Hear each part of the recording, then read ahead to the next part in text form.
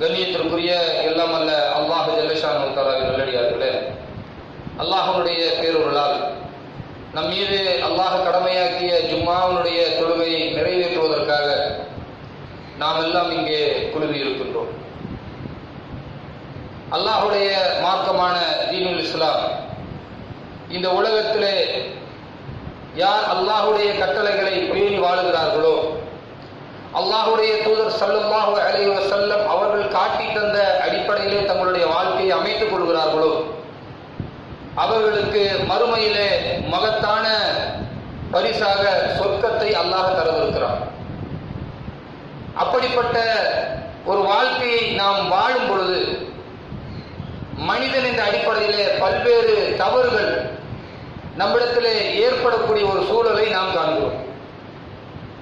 அல்லாஹுடைய தூதர் சல்லல்லாஹு அலைஹி வஸல்லம் அவர்கள் சொன்னார்கள் குல்லுபனி ஆதமோ எஃப்தவு பில்லைலி ஒன்னஹார் ஆதமுடைய மக்கள் இரவு நேரங்களிலும் பகல் நேரங்களிலும் தவறு செய்யக்கூடிய அடிப்படையில் தான் அவர்கள் படைக்கப்பட்டிருக்கிறார்கள். இன்னொரு செய்தியை கூட நாம் அறிந்திருக்கிறோம். குல்லுபனி ஆதமு சத்தாவும் ஓ ஹைர சத்தாவின் அத்தவாகும் ஆதமுடைய மக்கள் அத்தனை பேரோடுமே தவறு செய்யக்கூடிய நிலையில் தான் படைக்கப்பட்டிருக்கிறார்கள். யார் அந்த தவறிலிருந்து திருந்தி மீளுகிறார்களோ அவர்கள் தான் சிறந்தவர்கள் என்று அல்லாஹுடைய தூதர் சல்லல்லாஹு அந்த பாவத்தை அல்லாஹிடத்திலே சொல்லி அதற்கான பாவ மன்னிப்பை நீங்கள் பெறுங்கள். இன்னொரு இடத்துல அல்லாஹ் சொல்லி காட்டுகிறான் தோபு இலல்லாஹி. ஜமியா ஒட்டுமொத்தமான எல்லாரையும் பார்த்து அல்லாஹ் குறிப்பிடுகிறான் நீங்கள் அத்தனை பேர்களும் தௌபா செய்யுங்கள். எதற்காக? இன்னி அல்லாஹுடைய தூதர் சல்லல்லாஹு சொல்றாங்க மக்களை பார்த்து சொல்றாங்க நீங்கள் அத்தனை பேர்களும் தௌவா செய்யுங்கள். தூபோ ஐயுஹன்னாஸ் மனிதர்களை தௌவா செய்து கொள்ளுங்கள். ஏனென்றால் அல்லாஹுடைய தூதர் சொல்லுகிறார்கள் எந்த அளவிற்கு என்றால் இன்னி அதூபு ஃபில் யௌமி இலைஹி மிஅத்த மர்ரா நான் ஒவ்வொரு நாளும் அல்லாஹ்விடத்திலே நூறு முறை பாவ மன்னிப்பு தருகிறேன். அல்லாஹ்வுடைய தூதருக்கு எவ்வளவு எது ஒரு வாய்ப்பு அல்லாஹ் கொடுத்திருக்கிறான்?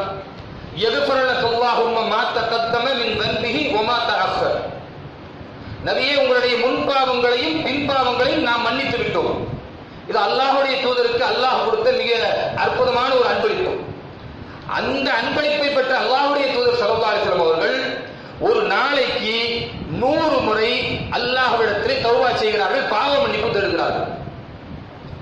இன்னொரு முறை அல்லாஹுடைய தூதர் சல்லா அலிஸ்லாம் அவர்கள் நின்று வணங்கி கொண்டிருக்கிறார்கள். அப்படி தொழுது கொண்டிருக்கக்கூடிய நேரத்தில் அல்லாஹுடைய தூதரின் கால்கள் வீங்கி கொண்டிருக்கிறது. அந்த நேரத்தில் அனை ஆயிஷா ரவி அல்லா சொல்லுகிறார்கள் யார சொல்லலாம் அல்லாஹ் தான் உங்களுடைய பாவங்கள் முன்பாவங்கள் பின்பாவங்கள் அத்தனையும் மன்னித்து விட்டானே. நீங்கள் இந்த அளவிற்கு அதிகம் அதிகமாக அல்லாஹை தொழுகிறீர்களே எதற்காக? மன்னிக்கப்பட்டு விட்ட ஒரு நபர் எதற்கு தொழுகணும்?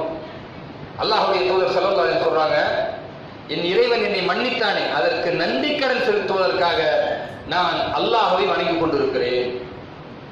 அல்லாஹை வணங்குவது என்பது நன்றிக்கடனுக்காக தௌபா செய்வது என்பது மனிதன் என்ற அடிப்படையிலே நம்மிடத்தில் இருக்கக்கூடிய அந்த தவறுகளை திரித்துக் கொள்வதற்காக.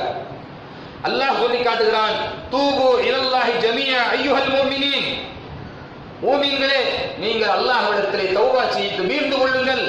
லஅல்லக்கும் துஃப்லிஹூன். நீங்கள் வெற்றி பெறுவதற்காக.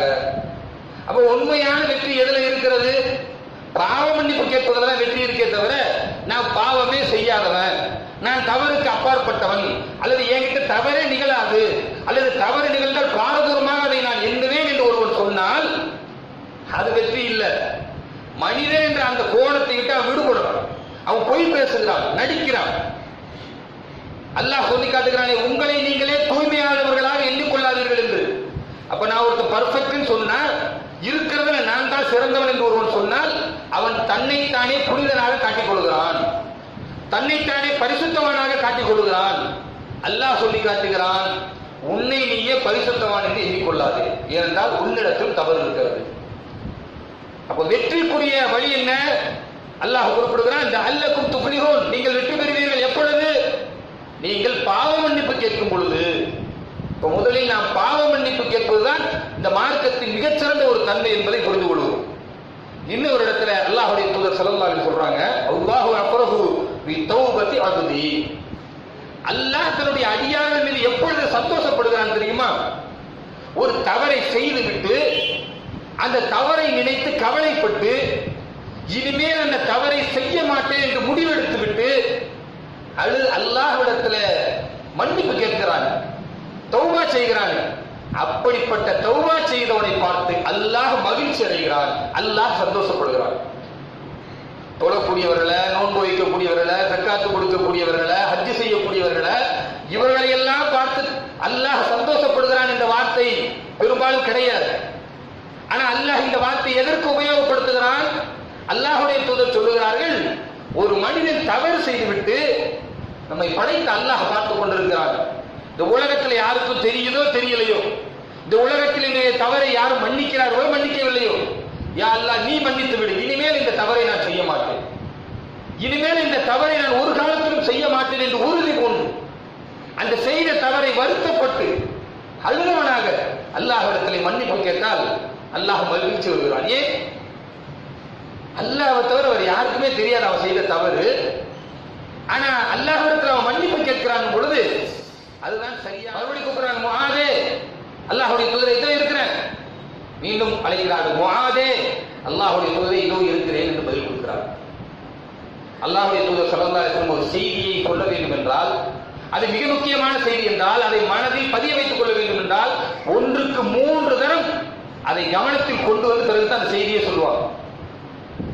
அந்த நேரத்தில் அல்லாஹுடைய தூதர் ஸல்லல்லாஹு சொல்றாங்க முகாத் ரலியல்லாஹு அவர்கிட்ட சொல்றாங்க முகாது அல்லாஹை ஒருவன் முழுமையாக நம்பி.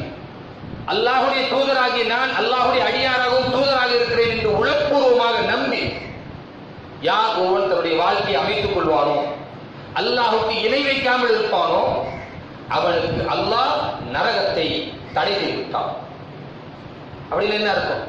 லாயிலாக இல்லல்லா முகமது ரசூலுல்லா என்ற கலிமாவை சொல்லி உளப்பூர்வமாக அல்லாஹ்வுடைய அச்சத்தோடு தௌபா செய்த வண்ணம் இருக்கக்கூடிய ஒரு மனிதன் இணை வைக்காமல் இருப்பானேயானால் அவனுக்கு அல்லாஹ் நரகத்தை தடை செய்து விட்டான் இதை கேட்டதுமே முகாதர் ரொம்ப சந்தோஷம்.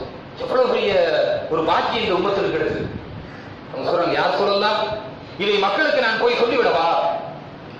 அதுக்கு முன்னால இன்னும் சில கேள்விகள் கேட்கிறாங்க யார் சொல்லலாம் அவன் திருடி இருந்தாலுமா? ஆம். அல்லாஹ்வுடைய சொல்ற அவன் விபச்சாரம் செய்திருந்தாலுமா ஆம். அப்படின்னு சொன்னதுமே உடனே முகாதரி எல்லாம் சொல்றாங்க யார் சொல்லலாம் இதை நான் மக்களுக்கு கொண்டு போய் சேர்த்து விடவா?